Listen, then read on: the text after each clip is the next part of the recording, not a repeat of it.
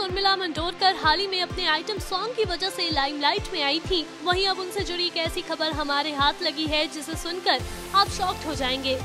ये तो आप जानती हैं कि रंगीला गर्ल उर्मिला ने करीब दो साल पहले धूमधाम से अपने बॉयफ्रेंड मोहसिन के साथ शादी की थी। दोनों में करीब 10 साल का एज गैप है। उर्मिला ने जब शादी की थी तो वो बयालीस साल की थी। वहीं उनके पति मोहसिन बत्तीस साल के। लेकिन उस समय प्यार में डूबे इन पंछियों को किसी बात की परवाह ही नहीं थी। उर्मिला मोहसिन की मैरिड लाइफ में कुछ महीने सब कुछ ठीक चल रहा था। लेकिन अब कहा जा रहा है कि दोनों के रिश्तों में धीरे धीरे दरार आ रही है।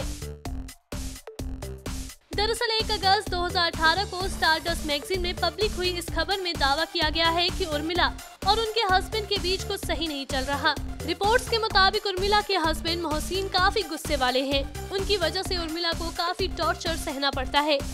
हस्बैंड के इस बिहेवियर से परेशान उर्मिला की ज़िंदगी पिछले दो साल से नरक बन गई है।